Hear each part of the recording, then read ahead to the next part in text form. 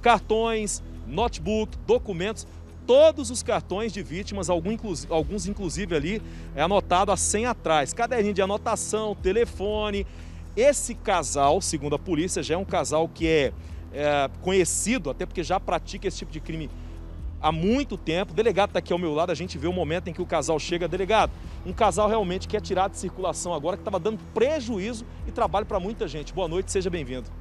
Boa noite, Fred. Obrigado. Boa noite, Silvia. Boa noite, telespectadores. Mais um trabalho excelente dos policiais do Grupo de Repressão Estelionatos e Outra Fraude, combatendo o crime do famoso golpe do novo número, né? Então, agora, nesse, nesse, nessa, nessa operação, operação fechamento, foram cumpridos dois mandados de prisão temporária desse casal que é investigado fazer parte de uma associação criminosa especialista nisso. A investigação começou em abril desse ano com a prisão em flagrante de um dos comparsas desse casal, né, suspeito de ser comparsa desse casal. A partir daí desenvolveram as investigações e identificaram que esse casal aí estava um patamar acima da primeira presa, né? Então, na verdade, esse casal fornecia, é, cooptava contas bancárias e fornecia para os demais assecas conseguirem fazer o golpe. Esses cartões, Fred, na verdade, são cartões de suspeitos de integrarem a associação criminosa. Que, contas emprestadas. Isso, que vende, na verdade eu não gosto de falar esse termo emprestado, que eles vendem as contas e recebem dinheiro por isso. E o tipo de estelionato é claro, né? Obter para si ou para outro em vantagem devida. Então foram cumpridos esses dois mandados e agora as investigações vão se fechar aí para a gente con conseguir concluir mais essa investigação e para que essas pessoas respondam seus atos perante a justiça. Silvia. Doutor, você tá bom, meu amigo?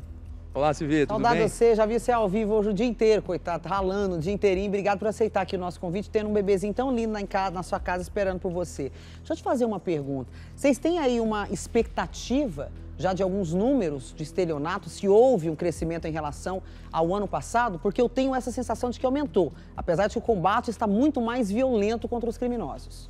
É, como você bem frisou, Silvia, o combate está bem mais violento. Na verdade, com a pandemia, a gente notou sim um incremento aí no número de estelionatos. Contudo, esse ano nós já inteiramos 90 prisões.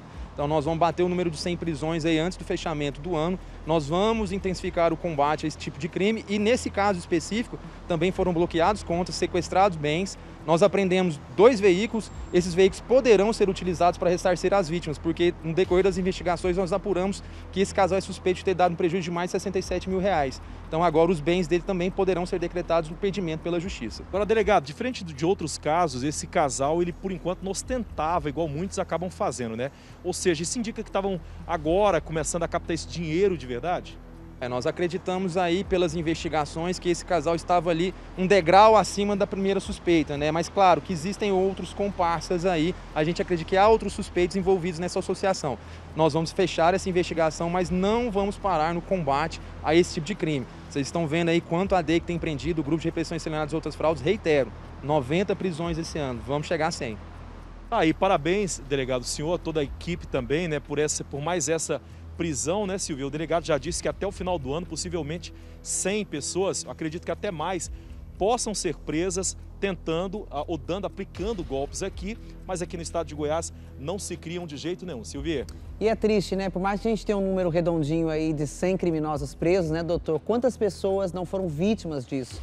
Não é que esses 100 fizeram cada um fez uma vítima. Pelo contrário, 20, 30, 40, às vezes vem até, já cometeu crimes em outros estados, é dessa forma que eles fazem. Obrigada pela participação. Se vê, até esse cidadão aí, ele é suspeito de ter cometido crimes em São Paulo, é, no Tocantins, a esposa dele também suspeita de ter cometido o crime em outros estados da federação, mas não custa nada lembrar, estelionato agora, pena de 4 a 8 anos de reclusão, associação criminosa, ainda podem entrar outros crimes, então o estelionato hoje fica preso.